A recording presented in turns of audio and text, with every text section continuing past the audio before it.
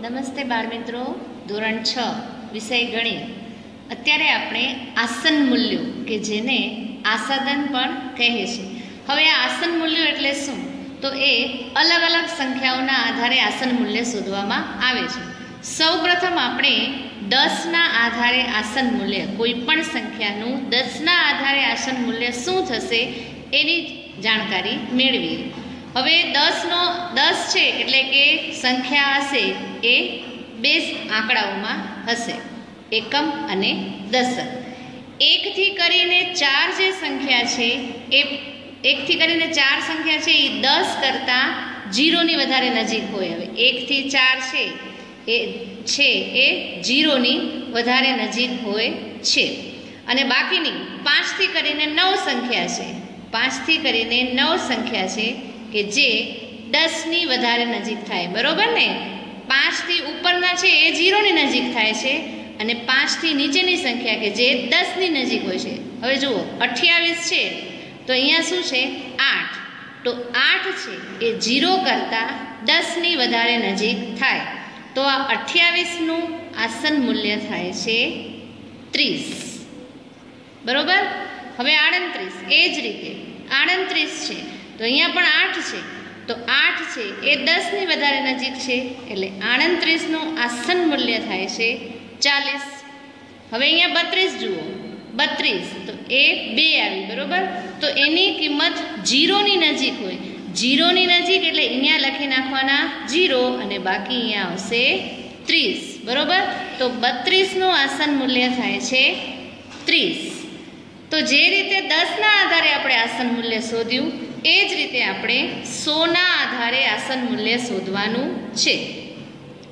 જેમ દસમાં એકથી ચાર એ જીરોની નજીક આવે છે, તો એવી રીતે સોના આધારે આસન મૂલ્યમાં એકથી કરીને ઓગણપચાસ સુધીની સંખ્યાઓ છે, એ જીરોની વધારે નજીક હોય છે, તો જેનું મૂલ્ય આપણે લેશું જીરો જીરો. કારણ કે સોનું સ્થાન છે એટલે આપણે એકમ, દશક અને સો લખશું. તો જ્યારે આસન મૂલ્ય લખશું, ત્યારે જીરો જીરો લખી નાખશું. એટલે એકમ અને દશક થશે અને સોનો અંક આપણે લખવાનો રહેશે. સમજાય છે? હવે એવી જ રીતે બાકીની એકાવનથી કરી અને નવ્વાણું સુધીની જે સંખ્યા છે, એ કેની નજીક હોય છે? સોની નજીક. તો એ પ્રમાણે આપણે ઉદાહરણ જુઓ કે આઠસો એકતાલીસ છે. તો આ છે એકતાલીસ. એકતાલીસ તો એ શેમાં આવે? એકથી ઓગણપચાસમાં. એટલે એનું મૂલ્ય થશે શૂન્ય શૂન્ય અને આઠના આઠ. એમને ફરી પાછું હવે બીજું ઉદાહરણ. જુઓ કે એક, એકસો ને ઓગણપચાસ છે. હવે આ પાછળ ઓગણપચાસ છે. તો અહીંયા આપેલું છે એકથી ઓગણપચાસ શું આવશે? મૂલ્ય ઝીરો ઝીરો અને આ સોનું સ્થાન એકનું જે છે, એટલે એકસો ઓગણપચાસનું આસન મૂલ્ય કેટલું થશે? સો થશે હો. હવે બસો ને છ્યાસી. છ્યાસી છે આરે તો એ એકાવનથી નવ્વાણુંની વચ્ચે આવે છે. એટલે એનું આસન મૂલ્ય સોના સ્થાન ઉપર નક્કી કરવામાં આવે છે. એટલે અહીંયા આવશે ત્રણસો. સમજાય છે? ચલો. હવે જે રીતે દસ અને સોના આધારે લીધું, એ રીતે આપણે હજારના આધારે આસન મૂલ્ય નક્કી કરવાના છે. તો ફરી પાછું. એકથી કરીને ચારસો નવ્વાણું સુધીની સંખ્યા છે. જેનું મૂલ્ય જીરો જીરો જીરોની નજીક આવશે. કારણ કે હજાર છે તો ત્રણ જીરો આવશે અને બાકી જુઓ, અહીંયા એકમ, દશક, સો અને હજાર ચાર અંકની સંખ્યા થશે. તો આપણે ત્રણ શૂન્ય લેશું અને બાકી અહીંયા એક અંક મૂકવામાં આવશે.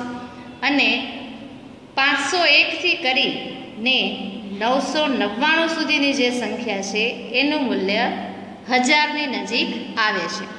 કઈ રીતે? ફરી જુઓ, બે હજાર પાંચસો તોતેર છે. તો પાંચસો તોતેર, તો એકથી ચારસો નવ્વાણુંમાં આવશે નહીં. પણ ક્યાં આવશે? પાંચસો એકથી નવસો નવ્વાણુંમાં. એટલે એનું આસન મૂલ્ય થશે ત્રણ હજાર. સાત હજાર આઠસો ને પચાસ. આઠસો પચાસ. તો ફરી પાછું એ ક્યાં આવશે? પાંચસો એકથી નવસો નવ્વાણુંમાં. એટલે એનું આસન મૂલ્ય થશે આઠ હજાર. હવે જુઓ, ત્રણ હજાર ચારસો નવ્વાણું. કેટલા છે આ? ચારસો નવ્વાણું. ચારસો નવ્વાણું છે એ ઝીરો જીરો જીરો મૂલ્યમાં આવે છે એટલે જીરો જીરો જીરો અને ત્રણના ત્રણ એમને. તો આ રીતે આસન મૂલ્ય શોધવામાં આવે છે. છે ને એકદમ સરળ. આવજો.